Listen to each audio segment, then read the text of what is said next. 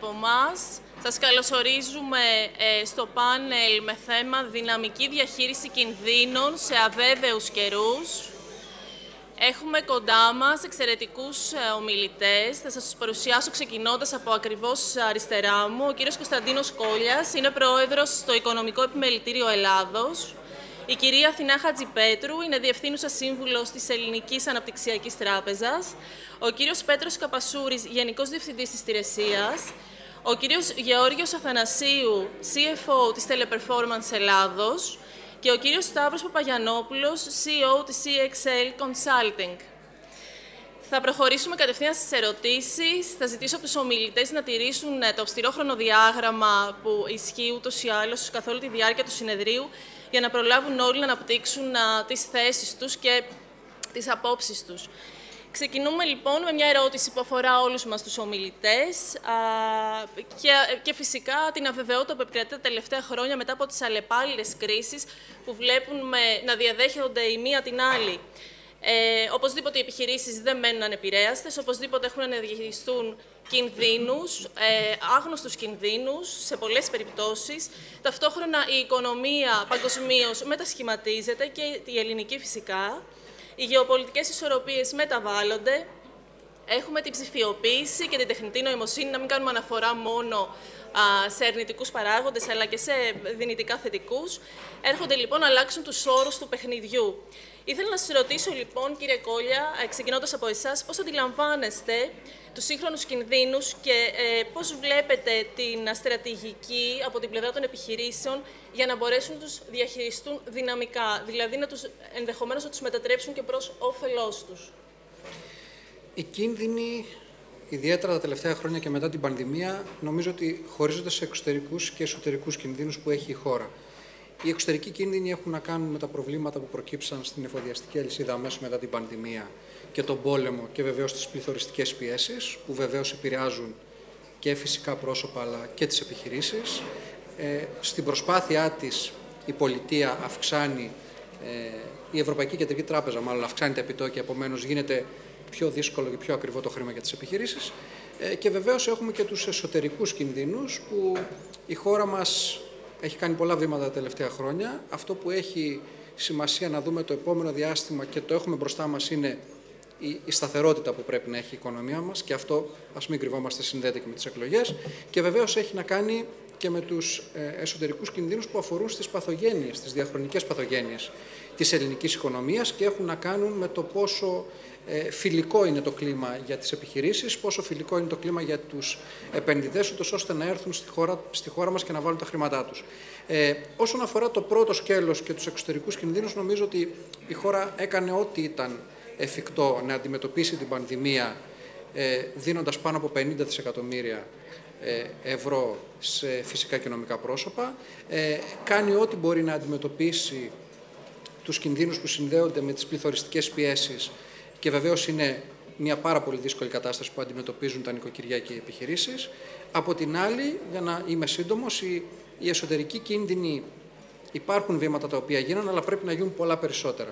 Η δημιουργία του φιλικού επενδυτικού περιβάλλοντος, η δημιουργία ενός φιλικού κλίματος για τις επιχειρήσεις έχει να κάνει με παθογένειες τις οποίες δεν έχουμε αντιμετωπίσει ως τώρα επαρκώς και πρέπει να το κάνουμε και έχουν να κάνουν με την ταχύτητα της απονομής δικαιοσύνης, έχουν να κάνουν με την ε, ε, διευκόλυνση της αδειοδότησης όλης της διαδικασίας ε, για μια επιχείρηση να μπορέσει γρήγορα να, να ξεκινήσει να λειτουργεί. Και εδώ έχουν γίνει πολλά βήματα, πρέπει να το πούμε αυτό.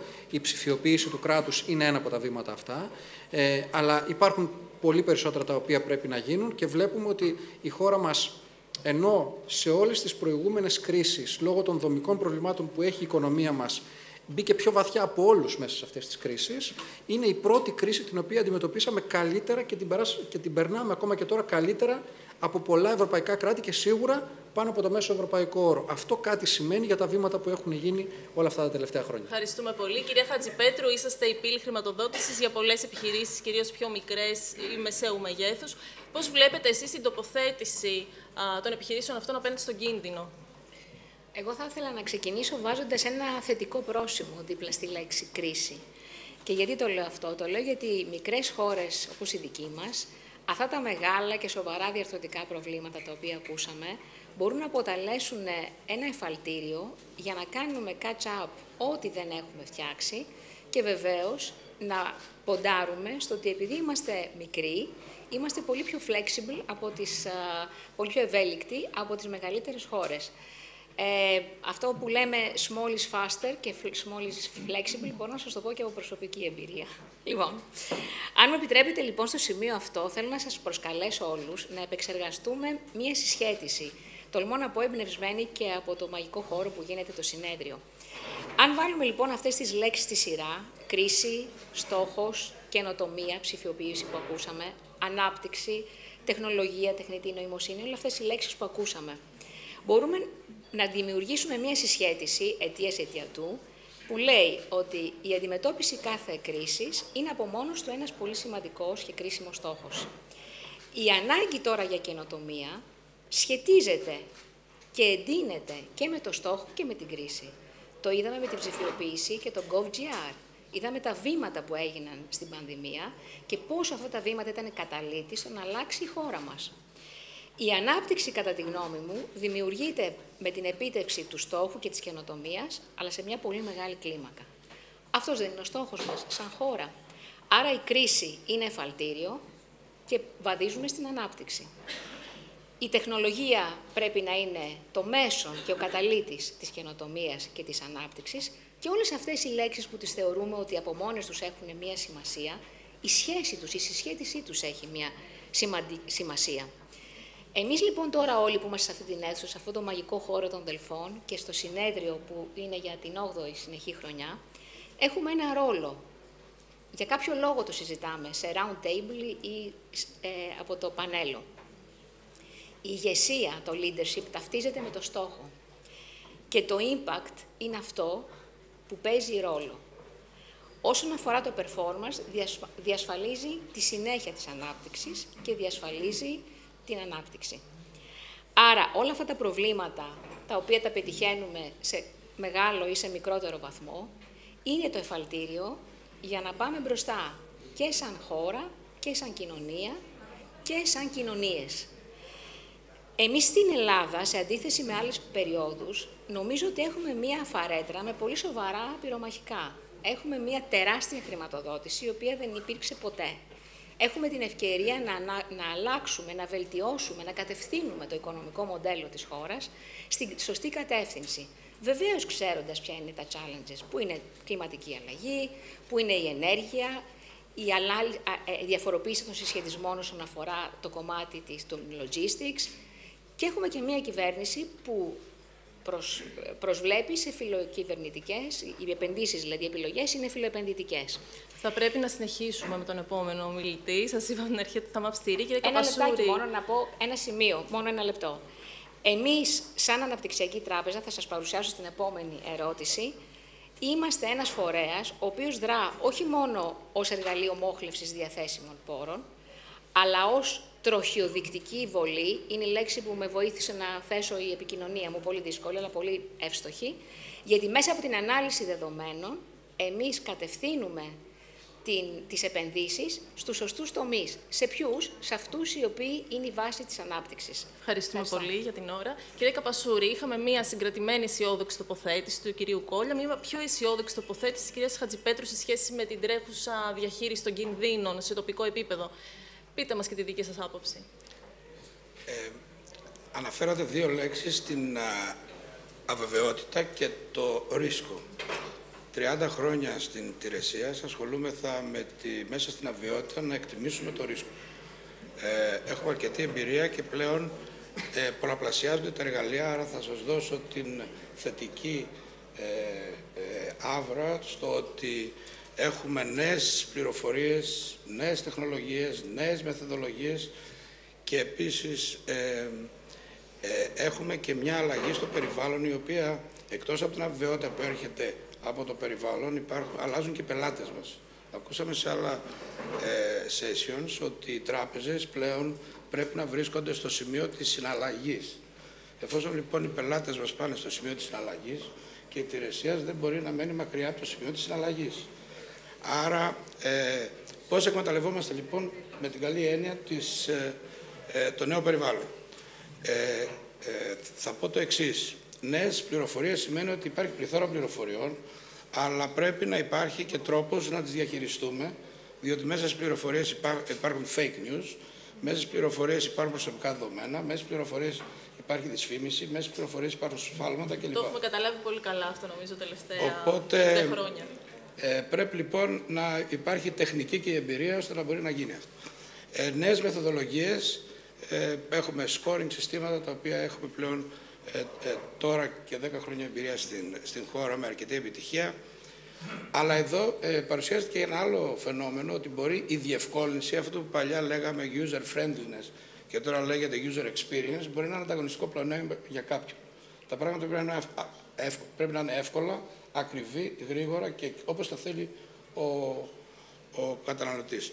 Ένα, μια καλή εκτίμηση η οποία είναι αργή και εκτός του χώρου συναλλαγής μπορεί να είναι χειρότερη από μια καλή εκτίμηση που είναι ε, τη στιγμή που πρέπει, εκεί που πρέπει, όπως πρέπει.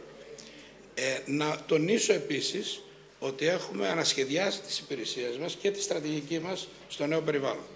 Ενώ παλαιότερα συλλέγαμε πληροφορίες μαζικά, άρα είχαμε κάποιους κανόνες για να τις διαθέσουμε, τώρα ε, ε, συνήθως πληροφορίες που αφορούν την πίστη, τώρα μπορούμε να παίρνουμε πληροφορίες record by record με τη συνένεση του πελάτη και του ε, καταναλωτή του ιδιώτη και επειδή έχουμε τη συνένεση είναι by default GDPR compliant. Άρα χρησιμοποιούμε τώρα ε, υπηρεσίες που είναι GDPR by default. Εμείς δεν προσπαθούμε να, να, να, να, επιτύχουμε συμμόρφωση με εσωτερικό έλεγχο, με τον παραδοσιακό τρόπο, εξ των υστέρων έλεγχο, αλλαγή διαδικασιών.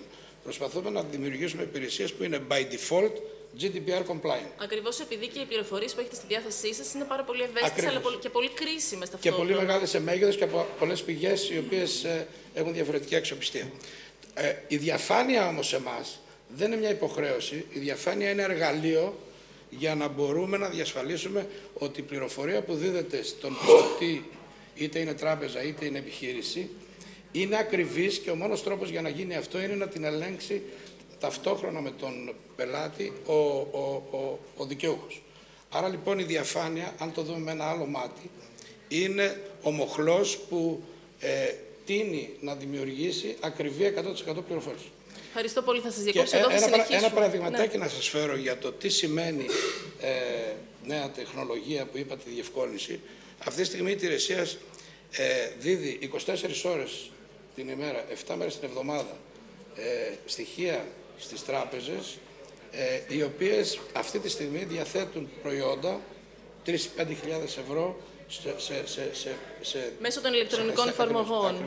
Θα μας πείτε περισσότερα μετά, okay. γιατί σας έχω ετοιμάσει ερώτηση. Okay. Ο κύριος Αθανασίου, προερχόμενος και μάλλον εργαζόμενος ανήκοντας και σε έναν διεθνή όμιλο, θα ήθελα λίγο να μας δώσει έτσι το perspective ε, ενός, πώς βλέπει την ελληνική αγορά, τέλος πάντων και την τοποθέτηση των επιχειρήσεων και τους κινδύνους, ε, λαμβάνοντας και αυτό υπόψη. Ε, καλησπέρα και από μένα. Ε, ξεκινώντας την τοποθέτησή μου, θα ήθελα να αναφέρω ότι ε, η Ελλάδα έχει ένα βασικό πλεονέκτημα σε σχέση με τις υπόλοιπες χώρες, καθώς έχουμε περάσει μια μεγάλη οικονομική ε, κρίση με πολυεπίπεδες ε, συνέπειες, ε, η οποία την έχει οδηγήσει στο να επαναπροσδιορίσει τον εαυτό της, ε, αναδεικνύοντας ε, μεγάλη αποφασιστικότητα, ευελιξία αλλά και εξωστρέφεια. αυτό κάνουμε και εμείς στην Teleperformance και έχουμε εξασφαλίσει μια σημαντική οικονομική και επιχειρησιακή ανάπτυξη τα τελευταία χρόνια. Άρα, ε, αυτή θα έλεγα είναι η συνθήκη ε, που θέτει και τη χώρα αλλά και εμάς ως εταιρεία σε μια προνομιακή ε, θέση καθώς έχουμε περάσει διαπυρός και σιδήρου. Άρα μπορούμε πιο εύκολα να ανταπεξέλθουμε σε οποιαδήποτε πρόκληση, είτε είναι οικονομική, ε, είτε είναι γεωπολιτική, είτε είναι τεχνολογική ή κάτι άλλο. Ε, διαθέτουμε την ε, τεχνογνωσία, έχουμε την κουλτούρα και θα έλεγα ότι πλέον έχουμε και την εμπειρία να δούμε αποτελεσματικά ε, σε ένα δυναμικά μεταβαλλόμενο περιβάλλον. Είναι χαρακτηριστικό ότι αν και εδρεύουμε στην Ελλάδα και συνεισφέρουμε σημαντικά στην οικονομία και στη κοινωνία της χώρας, η, η πλειοψηφία των δραστηριοτήτων μας, η συντριπτική πλειοψηφία, έχει να κάνει με πελάτες του εξωτερικού. Ε, πιο συγκεκριμένα, από την Ελλάδα, επαναλαμβάνω, η Teleperformance καλύπτει 140 αγορές, ε, μιλάμε 42 γλώσσες και απασχολούμε περισσότερους από 12.000 υπαλλήλους. Η χαρά της διαχείρισης του πιστοτικού κινδύνου είσαστε Ναι, και του ναι. κινδύνου γενικά. Ε, άρα μιλάμε για ένα ε, ευρωπαϊκό hub με μεγάλη έτσι, αλληλεπίδραση στο, σε διεθνές επίπεδο. Ε, αυτό μας δίνει τη δυνατότητα να, να κάνουμε χρήση του, του δικτύου ενός παγκόσμιου οργανισμού, του εκτεταμένου δικτύου, που δεν ξέρω αν έχετε πληροφορηθεί, πρόσφατα έγινε μια εξαγορά σε, σε παγκόσμιο επίπεδο, ε, οπότε το δίκτυό μας έχει μεγαλώσει ακόμη περισσότερο, να έχουμε εκείνο το στιβαρό ε, θεσμικό πλαίσιο λειτουργίας και ταυτόχρονα ε, να έχουμε τη διασπορά αλλά και τους μηχανισμούς που επιτρέπουν την ε, απομείωση της έκθεσής μας στους κινδύνους. Ε, πάρα πολύ σημαντικά όλα αυτά, γιατί μας εξασφαλίζουν μεγαλύτερη προβλεψιμότητα, θα έλεγα, και καλύτερη διαχείριση και έλεγχο της αβεβαιότητας, ε, στοιχεία τα οποία είναι απαραίτητα για την επίτευξη των στόχων κάθε οργανισμού. Ευχαριστώ. Ευχαριστούμε πολύ. Α, κύριε Παπαγιανόπουλε, ε, ολοκληρώνουμε τον α, πρώτο κύκλο των ερωτήσεων με εσάς. Είσαστε στο, στην καρδιά της διαχείρισης του πιστοτικού κινδύνου, αυτό, α, του κινδύνου μάλλον συνολικά, αυτό κάνετε, σε αυτό συμβουλεύετε τους πελάτες σας. Ε, πώς βλέπετε να μεταβάλλετε το περιβάλλον τον τελευταίο καιρό; Ε, καταρχάς, πριν πούμε πώς μεταβάλλεται το περιβάλλον, ένα μήνυμα για τις επιχειρήσεις. Η διαχείριση κινδύνων δεν είναι μια απλή διαδικασία, είναι ένας αγγε- αναγκαίος εταιρικός μετασχηματισμός. Πρέπει να αποτελέσει καθημερινό τρόπο δουλειάς κάθε επιχείρησης. Ήρθε για να βοηθήσει τις επιχειρήσεις να αποφύγουν τους καταστροφικούς κινδύνους, το downside of risk, αλλά και για να πάρουν περισσότερους κινδύνους, αλλά σωστά υπολογισμένους πλέον το upside of risk, να, εκμεταλλε... το of risk, να εκμεταλλευτούν στο μέγιστο τις ε, επιχειρηματικές ευκαιρίες. Ένα βήμα πίσω όμως, για να ε, πάρουμε την εικόνα από τα 30.000 πόδια. Προσωπικά χωρίζω τη διαχείριση κινδύνων ε, στην προ-2008 εποχή και στη μετά. Ποια είναι η διαφορά; Μέχρι το 2008 στη διαχείριση κινδύνων μιλάγαμε για το φαινόμενο του Black Swan, ένας μαύρος κύκλος ανάμεσα σε εκατομμύρια άσπρους. Αν τον έβλεπες μια φορά στη ζωή σου σαν τυχερός, οι επιχειρήσεις ετοιμαζόντουσαν κάθε φορά σε όλους τους στη ζωή για να αντιμετωπίσουν αυτή τη μία μεγάλη κρίση, τον έναν μεγάλο κίνδυνο που θα επέρχεται. Τι έγινε μετά το 2008. Τα Black Swans άρχισαν να έρχονται κατά σμήνη οι κρίσεις απανοτές, μία μετά την άλλη, οι κίνδυνοι όλο και πιο σοβαροί, όλο και πιο μεγάλοι. Άρα λοιπόν έχει αλλάξει το σκηνικό. Οι κρίσεις είναι πλέον η καινούργια καθημερινότητά μας. Οι επιχειρήσεις πρέπει να μάθουν όχι μόνο να επιβιώνουν μέσα από αυτές, αλλά και να μεγιστοποιούν τις ευκαιρίες που αυτές παρουσιάζουν. Έτσι λοιπόν οφείλουν να υιοθετήσουν μια διαχείριση κινδύνων η οποία δεν θα είναι μηχανιστική αλλά θα είναι ενεργή και να κάνουν ε, τη διαχείριση κινδύνων εργαλείο δουλειάς τους. Και για να το κάνουν αυτό δεν χρειάζονται copy-paste λύσεις, χρειάζονται ανθρώπους ευέλικτους, με γνώση, με πάθος για τη διαχείριση κινδύνων που θα ενσκύψουν στην επιχείρηση και να τη βοηθήσουν να δημιουργήσει ένα χρηστικό δυναμικό σύστημα διαχείριση κινδύνων. Τέλος, η διαχείριση κινδύνων έχει και κόστος αλλά δίνει και καρπούς. Σύντομο παράδειγμα, ελληνική πολυεθνική εταιρεία σε 19 χώρες δραστηριοποιείται. Κάποια στιγμή μία από αυτές τις χώρες αρχίζει να έχει υπεραποδόσεις. Υπεραποδόσεις βάζουμε και άλλα λεφτά. Υπεραποδόσεις βάζουμε και άλλα λεφτά. Όλοι ήταν χαρούμενοι. Κάποια στιγμή το τμήμα διαχείρισης κινδύνων εντοπίζει το πρόβλημα, εντοπίζει την υπερσυγκέντρωση. Οι managers από κάτω λένε: Εμείς δεν θα σταματήσουμε να χορεύουμε όσο παίζει μουσική. Να θυμίσω, το λέγανε και οι Αμερικάνοι τραπεζίτες αυτό παλιά. Τελικά ο CEO παίρνει απόφαση ότι πρέπει οπωσδήποτε να περιοριστεί η δραστηριότητα ή τέλος πάντων να σταματήσει να μεγαλώνει η δραστηριότητα στη συγκεκριμένη χώρα. Δύο χρόνια μετά η Ρωσία εισβάλλει στην Ουκρανία. Φαντάζεστε σε ποια χώρα είχαν υπεραποδόσεις; Υποψιάζεστε, στη Ρωσία.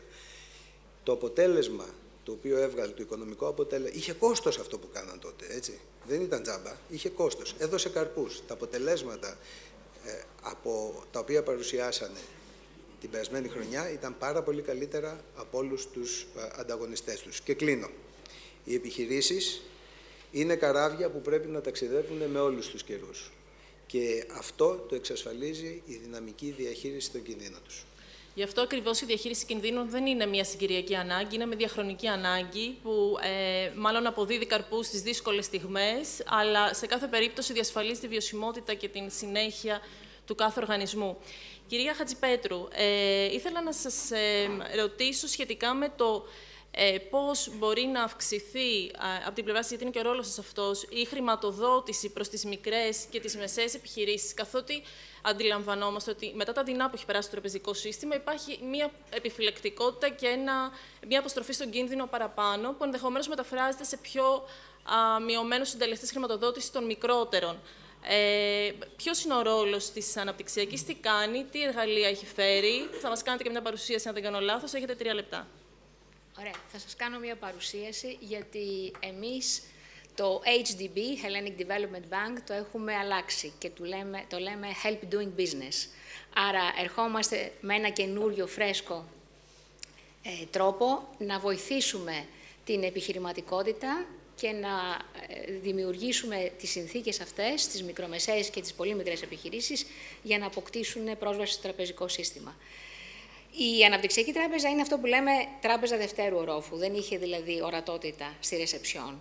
Άρα δεν ξέραμε μέχρι να εγκρίνει το τραπεζικό σύστημα ποιος ήταν αυτός ο οποίος ετήτο, ποιος ήταν αυτός ο οποίος ήθελε; Ούτε ποιο μέγεθος ήταν, ούτε ποια, ποιο industry ήταν, ούτε ε, σε ποιο region ήταν. Παίρναμε τις έτοιμες αιτήσεις από το τραπεζικό σύστημα. Κάνουμε λοιπόν ένα reverse engineering, δημιουργούμε μία πλατφόρμα που πλέον είμαστε το single point of entry. Η πλατφόρμα μας που σας καλωσορίζουμε γιατί είναι εν λειτουργία εδώ και 1,5 μήνα λέγεται ε, Know Your Customer. Ε, είναι ουσιαστικά ένα single point of entrance. Έρχεται και κάνει την αίτησή του με, τάξεις, με κωδικούς τάξης ο επιχειρηματίας και εμείς κάνουμε με τη βοήθεια και του Τηρεσία κάνουμε ένα πρώτο health check, δηλαδή κοιτάμε ότι το συγκεκριμένο αφημί με την συνένεσή του έχει access στο, έχει μάλλον φορολογική ασφαλιστική ενημερότητα και δεν είναι μαύρο στον τηρεσία. Είναι αυτό που λέμε λοιπόν tentative bankable. Είναι δυνητικά χρηματοδοτούμενος. Δεν σημαίνει ότι θα πάρει χρηματοδότηση, αλλά είναι δυνητικά χρηματοδοτούμενος. Εμείς λοιπόν στο process αυτό, το οποίο θέλω να σας πω ότι το τεστάρουμε ήδη, το τεστάρουμε, το λειτουργούμε με ένα προϊόν ήδη 1,5 μήνα, είμαστε ουσιαστικά, τηρούμε το, το, τον ρόλο μας ότι, ότι είμαστε ένα από, τα, από τις τρεις πλευρές του τριγώνου, που είναι η αίτηση του επιχειρηματία για χρηματοδότηση, που είναι το τραπεζικό σύστημα στο οποίο καταλήγει, και εμείς είμαστε αυτοί που διευκολύνουμε με εύστοχα χρηματοδοτικά προϊόντα αυτό το τρίγωνο. Εδώ λοιπόν αφού κάνει την αίτηση και είναι tentative bankable, έρχεται και επιλέγει ο ίδιος ο επιχειρηματίας ποια τράπεζα θέλει να του κάνει offer. Στη συνέχεια η τράπεζα αποφασίζει αν θέλει να συνεργαστεί μαζί του ή όχι και του κάνει πάλι ένα tentative offer. Άρα, δημιουργούνται market forces, γιατί ξέρει μία τράπεζα ότι αν δεν του κάνει offer, ενώ είναι καθαρός tentative bankable που λέγαμε, θα του κάνει μία άλλη ανταγωνίστριά της. Έχει ολοκληρωθεί κάποια πλευρά, διαδικασία σε αυτό το διάστημα που το δοκιμάζετε; Δοκιμάζω. Ε, ε, το λειτουργούμε ήδη, θα το δείτε τώρα στο επόμενο slide, το, το λειτουργούμε ήδη με το, ε, με το microfinance το αγροτικής. Βλέπετε εδώ ότι έχουμε ήδη 5.621 επιχειρήσεις. Τα νούμερα είναι εδώ. Είναι δηλαδή ένα proven story, είναι ένα story το οποίο λειτουργεί. Είναι όλο διαλειτουργικότητα, είναι με, με σύγχρονη μεθοδολογία, γιατί οι επιχειρηματίες χρησιμοποιούν μια βάση δεδομένων, προφανώς GDPR και όλα αυτά τα πράγματα. Και το πιο σημαντικό είναι ότι έχει, είναι ένα win-win. Έχει ε, benefits για όλους. Είναι πάρα πολύ διαφανές. Έχει ένα κομμάτι, ε, μια νοοτροπία data sharing. Ο επιχειρηματίας πρέπει να μάθει να μοιράζεται τα data του. Ε, είναι digital, δημιουργεί ανταγωνισμό στο τραπεζικό σύστημα είναι, είναι διαλειτουργικό πλήρως με την ΑΔΕ, τον ΕΦΚΑ και τον ΤΙΡΕΣΙΑ και η διάρκεια που χρειάζεται για να απαντήσουμε στον επιχειρηματία εάν περνάει ή όχι τη διαδικασία είναι πέντε λεπτά. Είναι τρομερό. Εμείς λοιπόν τα, όλα τα επόμενα προϊόντα μας, τα οποία είναι 2,5 δις, βγαίνουν εφ' εξής πάνω σε αυτή την πλατφόρμα.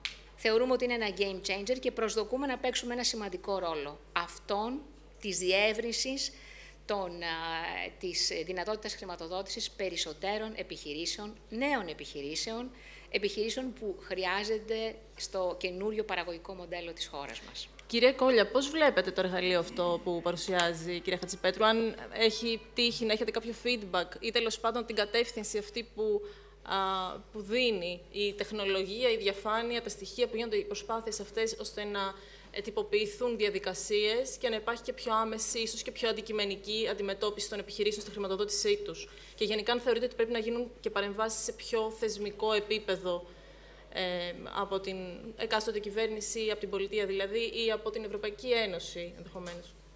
Ε, νομίζω ότι είναι ένας από τους τρεις σημαντικούς στόχους που, που πρέπει να έχει η χώρα για το επόμενο διάστημα στην κατεύθυνση αυτή την οποία συζητάγαμε για τη διευκόλυνση των επιχειρήσεων και για τη διευκόλυνση προσέλκυσης επενδύσεων. Ο πρώτος στόχος είχα στο μυαλό μου να πω ότι είναι ένα υγιές τραπεζικό σύστημα ε, έχουν μειωθεί αρκετά τα κόκκινα δάνεια των τραπεζών. Ε, επομένως, το επόμενο βήμα είναι να ανοίξουν τη βεντάλια και να βάλουν περισσότερους μικρομεσαίους, μικρομεσαίες επιχειρήσεις μέσα για να έχουν ρευστότητα. Και προς την κατεύθυνση αυτή και το Οικονομικό Πολιτήριο της Ελλάδος θα κάνει ό,τι μπορεί και σε συνεργασία με την Ελληνική Αναπτυξιακή Τράπεζα που ήδη συζητάμε μνημόνιο συνεργασίας για να μπορέσουμε να χρηματοδοτήσουμε όσο περισσότερους γίνεται. Ε, ο δεύτερος κατ' εμέ στόχος πρέπει να είναι η επενδυτική βαθμίδα για να προσελκύσουμε ακόμα περισσότερες άμεσες ξένες επενδύσεις που τόσο έχει ανάγκη η χώρα. Και ο τρίτος στόχος νομίζω ότι έχει να κάνει με την γρήγορη, την ταχεία και χωρίς γραφειοκρατικές διαδικασίες απορρόφηση των 70 δισεκατομμυρίων ευρώ που θα πέσουν το αμέσως επόμενο διάστημα στην ελληνική οικονομία από το Ταμείο Ανάκαμψης, από το νέο ΕΣΠΑ, από τον Αναπτυξιακό Νόμο, από τη νέα αγροτική πολιτική. Νομίζω ότι άμα μπορέσουμε να αξιοποιήσουμε γρήγορα αυτά τα χρήματα χωρίς να κολλήσουμε στη γραφειοκρατία, ε, η χώρα δεν έχει τίποτα να φοβηθεί στο μέλλον. Κύριε Καπασούρη, ε, εσείς πιστεύετε, καταρχάς δεν κάτσατε και τυχαία δίπλα στη κυρία Χατζηπέτρου, συνειδητοποιώ εκ των υστέρων, αφού συνεργάζεστε και στη, ε, στο προϊόν αυτό που είδαμε έτσι, στην πράξη. Ε, θεωρείτε ότι οι επιχειρήσεις έχουν επαρκή α, πληροφόρηση σε επίπεδο, ε, το, το insight, ε, σε επίπεδο για να πάρουν τις αποφάσεις τις επιχειρηματικές τους, ε, να διαχειριστούν δηλαδή αποτελεσματικά τον κίνδυνο που έχουν στις, στις, στη διαδικασία αυτή από τη μία και από την άλλη οι τράπεζες και οι πιστωτές γενικά έχουν επαρκή πληροφόρηση για να δανείζουν ε, με, με μια σαφή εικόνα ή να μην δανείζουν τέλος πάντων τους ετούμενους οργανισμούς; Ε, θα έλεγα και ναι και όχι. Με ποια έννοια, από το 2009 εμείς έχουμε συλλέξει όλες τις πληροφορίες που αφορούν την πίστη στην Ελλάδα. Ε, από στεγαστικά δάνεια, καταναλωτικά δάνεια, εγκυτικές επιστολές κλπ. Αυτοί οι μονάδες λοιπόν είτε είναι ιδιώτες είτε είναι επιχειρήσεις που, που είναι bank, ε, ε, που έχουν banking history και rich banking history, δηλαδή πλούσια πληροφόρηση στο σύστημα, ε, έχουμε εξαιρετικές εκτιμήσεις για, το, για τους κινδύνους τους. Θα σας πω έχουμε τα υψηλότερη predictive values στην Ευρώπη γιατί έχουμε αρκετά συγκεντρωμένη πιστοτικό σύστημα στην Ελλάδα, οπότε έχουμε πλήρη πληροφόρηση. Για τις μονάδες οι οποίοι δεν έχουν πλούσια πληροφόρηση στο σύστημα, ε, νεαρά άτομα τα οποία δεν έχουν ε, δανεισμό... Startups, για παράδειγμα, ή νέους επιχειρηματίες. Εκεί λοιπόν υπάρχουν πλέον, που είπα στην πρώτη μου τοποθέτηση, νέες πληροφορίες, νέες πηγές κλπ.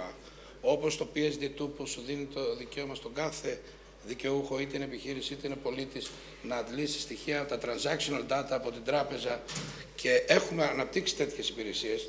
Αλλά είπε η κυρία Χατζηπέτρου και θα το επιβεβαιώσω και θα το ενισχύσω ότι χρειάζεται data sharing και να δημιουργηθεί και η κουλτούρα του ότι ε, για να γίνονται τα πράγματα γρήγορα, με ακρίβεια και αποδοτικά, θα πρέπει να υπάρχει και πληροφόρηση και να χρησιμοποιείται και η πληροφόρηση από τις επιχειρήσεις. Άρα, αυτή τη στιγμή υπάρχουν οι πηγές, υπάρχουν οι πληροφορίες, υπάρχουν τα εργαλεία, αλλά πρέπει να δημιουργήσουμε, και αυτή είναι και ευθύνη δικιά μας. Δεν υπάρχει διείσδυση αρκετή δηλαδή ίσως. Είναι νέα προϊόντα, ορισμένα από αυτά και αρκετά τεχνολογικά involved και θα φέρω παράδειγμα, το παράδειγμα της ε, HDB που με την κυρία Χατζηπέτρου μιλήσαμε κατηδίαν που ζήτησε κάτι συγκεκριμένο και, το, και πολύ γρήγορα θεωρώ ότι, ότι ανταποκριθήκαμε. Με, με την έννοια αυτή λοιπόν πιθανόν να χρειάζεται να υπάρχουν και συνεργασίες, οπότε αυτά τα εργαλεία να, είναι, να γίνουν integrated μέσα στα συστήματα των επιχειρήσεων, να εκμεταλλευτούν με την καλή έννοια και,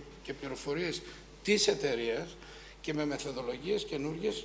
Τώρα, στο κομμάτι μεθοδολογίες που αναφέρατε AI, ε, τα πράγματα δεν είναι τόσο απλά. Γίνεται μεγάλη συζήτηση στην Ευρωπαϊκή Ένωση το πώς θα χρησιμοποιούν αυτά για, ε, για τη διαχείριση κινδύνων, διότι θα πρέπει να ξέρει και ο πιστωτής και ο πιστούχος πώς βγαίνει μια απόφαση, γιατί βγαίνει μια απόφαση, γιατί δεν θέλουμε να υπάρχουν ε, στατιστικά σφάλματα, να υπάρχουν οικονομικές μονάδες οι οποίες μπαίνουν μέσα στο μαθηματικά λεγόμενο type 1 or type 2 error, αλλά δεν πάβουν να είναι άνθρωποι, οι οποίοι, επιχειρήσεις, οι οποίες θα πρέπει να έχουν την ιδιαίτερη ε, ε, προσοχή μας και θα πρέπει να φτάσουμε στο segment of one, δηλαδή στο τέλος της ημέρας, να υπάρχει δυνατότητα να αξιολογείται κάθε οικονομική μονάδα ξεχωριστά, εφόσον υπάρχει ανάγκη και ε, δημιουργείται κάποιο πρόβλημα. Στο κομμάτι λοιπόν τώρα των επιχειρήσεων, η Τηρεσίας διαθέτει πέντε χρόνια τώρα ένα εργαλείο, το check που το λέμε, το οποίο είναι online, σε, μπορείτε να το δείτε από το κινητό σας, μπορείτε να βάλετε alarms, μπορεί να υπάρχει. Υπάρχει δηλαδή μια διαδραστικότητα αυτοματοποιημένη που βοηθάει την επιχείρηση, αλλά θεωρώ ότι θα πρέπει να κάνουμε πολύ περισσότερο στο να, ε, ε, να, να, να ενημερώσουμε τον κόσμο. Είναι αυτό που λένε στην Ευρωπαϊκή Ένωση το financial literacy, πρέπει να αυξηθεί και να συμβάλλουμε όλοι, ώστε να μπορούν να χρησιμοποιηθούν και αυτά τα εργαλεία. Να κάνω μία παρένθεση. Κύριε Κόλλια, εσείς πιστεύετε ότι γνωρίζουν οι επιχειρήσεις αυτά τα εργαλεία; Ποια είναι η εικόνα σας, γιατί θα μπορούσαν να ενημερωθούν περισσότερο; Κοιτάξτε, ε, σε μεγάλο βαθμό οι επιχειρήσεις έχουν ξεκινήσει να ανταποκρίνονται και να παρακολουθούν όλα αυτά τα εργαλεία ε, δραστηριοποιούνται σε ένα διεθνώς πλέον ανταγωνιστικό περιβάλλον. Επομένως, δεν θα μπορούσαν να μην κινούνται προς αυτή την κατεύθυνση. Ε, τουλάχιστον εμείς από τα μέλη μας, που πολλά εξ αυτών είναι στελέχη επιχειρήσεων, έχουμε την εικόνα ότι πλέον έχουν ξεκινήσει και παρακολουθούν πολύ στενά όλα αυτά τα εργαλεία και πολλές από αυτές τα χρησιμοποιούν κιόλας. Γιατί ζούμε στην εποχή των data. Επομένως, θα ήταν και ξύμορο να μην σιγά σιγά ειδήσεις, μάλλον με γρήγορους ρυθμούς. Δεν θα μπορούσαν να σταθούν σε διαφορετικό. Ακριβώς, ναι, ναι, ναι. Κυρία Θανασίου, ε, εσείς ποια εργαλεία χρησιμοποιείτε για τη διαχείριση του κινδύνου, υπό την έννοια ότι στο πλαίσιο ενός διεθνούς ομίλου ε, ενδεχομένως έχετε και τεχνογνωσία από το σίγουρα, έχετε τεχνογνωσία από άλλες χώρες, από άλλες αγορές, έχετε ενδεχομένως αναπτύξει και περισσότερο τη στρατηγική σας αυτή. Ε, Λοιπόν, εμείς ε, χρησιμοποιούμε εργαλεία που έχει αναπτύξει και, ο, και ο, το Ομιλός, αλλά υπάρχει και συνεργασία και με, το, με τον Τηρεσία. Ε, ε, θα ήθελα να πω ότι οι μεγαλύτερες, μία από τις μεγαλύτερες προκλήσεις που αντιμετωπίζουμε αυτή τη στιγμή είναι η, η έβρεση προσωπικού. Ε, όχι μόνο εμείς, αλλά το σύνολο της ελληνικής αγοράς. Ε, σε αυτό το, προς αυτό, λοιπόν, για να λύσουμε αυτό το, το θέμα, έχουμε αναπτύξει ε, τρεις άξονες πάνω στους οποίους δουλεύουμε. Ε, ο πρώτος είναι η δημιουργία μιας ελκυστικής εργασιακής συνθήκης για τους νέους εργαζομένους μας, ένα φιλικό και ευέλικτο ε, εργασιακό περιβάλλον και τέλος επίσης πολύ σημαντικό είναι η δημιουργία ε, θετικής επαγγελματικής ε, προοπτικής. Ε, για να απαντήσω τώρα και στο, στο, στο άλλο σκέλος της ερώτησής σας, ε, θεωρώ ότι το μέλλον θα το ορίσει ένα συνδυασμός επενδύσεων σε ανθρώπινο δυναμικό, αλλά και στην ε, τεχνολογία και στην καινοτομία. Αυτή είναι και η άποψη της ε, teleperformance που την κάνει πράξη καθημερινά, ε, συνεισφέροντας στο ψηφιακό μετασχηματισμό των πελατών μας και, και παρέχοντας πρωτοποριακές λύσεις. Ε, άρα, για να ολοκληρώσω, αξιοποιώντας τις δυνατότητες της τέταρτης βιομηχανικής επανάστασης, δημιουργούμε νέα μοντέλα επιχειρησιακής λειτουργίας, τα οποία είναι πιο αυτοματοποιημένα, πιο γρήγορα, πιο ασφαλή και τελικά πιο αποτελεσματικά. Ε, μένοντας λοιπόν πιστοί και προσιλωμένοι στο, στο αποτέλεσμα και με το πάθος μας για βελτίωση και καινοτομία, είμαστε έτοιμοι να αντιμετωπίσουμε οποιαδήποτε πρόκληση και να δημιουργήσουμε και να μετατρέψουμε την ε, κρίση σε ευκαιρία. Ποιες, έτσι μιας και το αναφέρατε, ποιες θεωρείτε ότι είναι οι μεγαλύτερες προκλήσεις για τα επόμενα 5 με 10 χρόνια στο δικό σας τομέα; Είναι τόσο δυναμικό το περιβάλλον το οποίο δραστηριοποιούμαστε και το ξέρουμε όλοι έτσι σε αυτό το, το δωμάτιο, που είναι πολύ δύσκολο να κάνεις οποιαδήποτε πρόβλεψη. Ε, μπορεί να είναι από υγειονομική κρίση όπως πρόσφατα βιώσαμε, μέχρι γεωπολιτική, αυτή τη στιγμή μας απασχολεί πάρα πολύ το θέμα του, του πληθωρισμού και των επιτοκίων, το οποίο ε, η έκβασή του είναι επίσης αβέβαιη. Ακούμε διάφορα, αλλά παρόλα αυτά ε, δεν είμαστε σίγουροι την κατεύθυνση ε, ως προς την κατεύθυνση που θα πάρουν τα, τα πράγματα. Άρα πρέπει να είμαστε προετοιμασμένοι και να ελέγξουμε όσο μπορούμε περισσότερο την, την αβεβαιότητα που παρουσιάζεται μπροστά μας.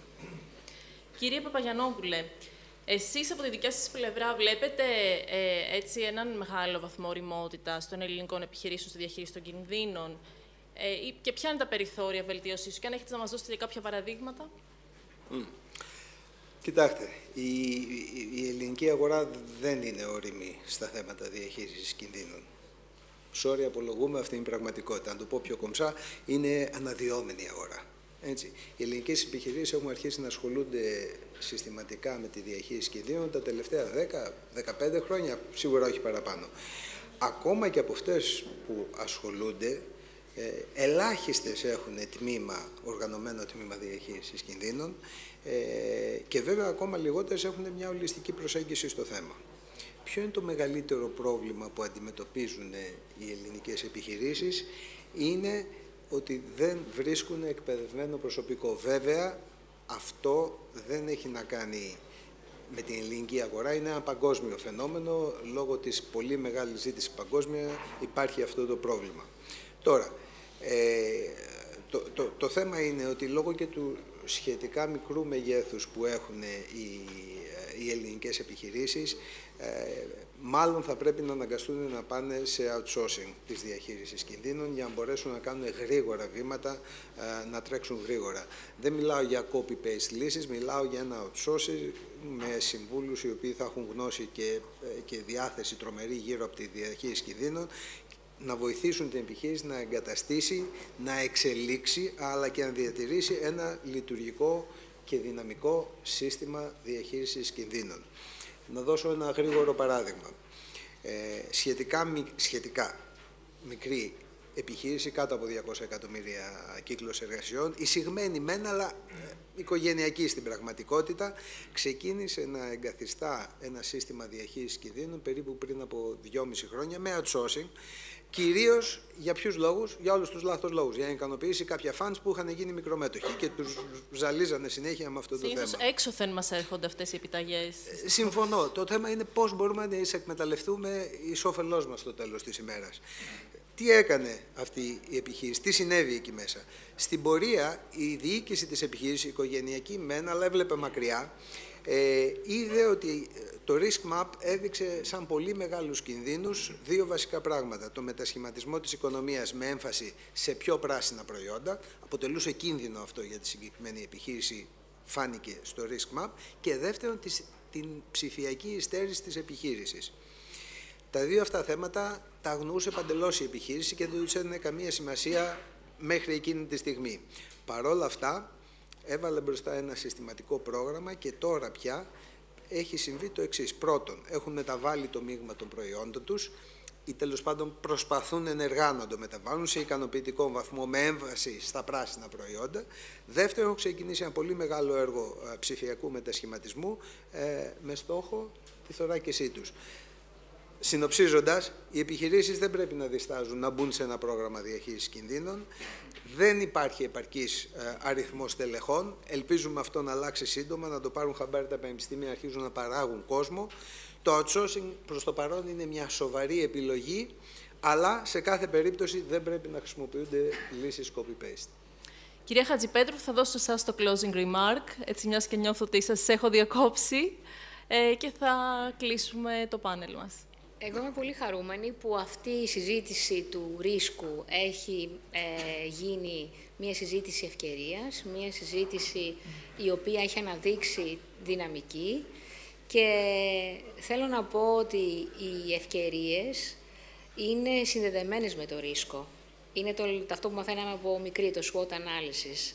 Strengths, opportunities, strengths, weaknesses, opportunities ε, και threats. Λοιπόν, άρα εμείς βαδίζουμε στην Ελληνική Αναπτυξιακή Τράπεζα με έναν πολύ σημαντικό στόχο, με συνεργασία με τον Τηρεσία. Ως μέλη 30 χρόνια του Οικονομικού Επιμελητηρίου και βέβαια με συνεργασία, γιατί είναι οι σπόνσορές μας, και με όλες τις δυναμικές των πολυεθνικών εταιριών, να δώσουμε στο επιχειρήν ε, μια καινούργια στήριξη, γιατί σαν κοινωνία πρέπει να στηρίζουμε αυτούς που τολμούν, επιχειρούν και καινοτομούν. Και η γνώση, η πραγματική γνώση βοηθά σε αυτό και Προφανώς. είναι αρρωγός και είναι και προϋπόθεση. Προφανώς. Ευχαριστώ πολύ τους εκλεκτούς ομιλητές, ευχαριστώ το κοινό. Ελπίζω να σας κρατήσαμε καλή παρέα.